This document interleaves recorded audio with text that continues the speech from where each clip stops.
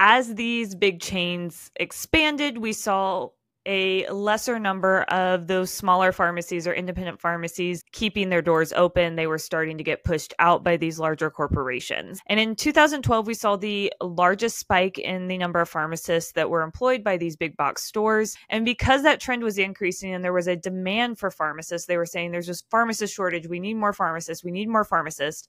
A ton of pharmacy schools open up.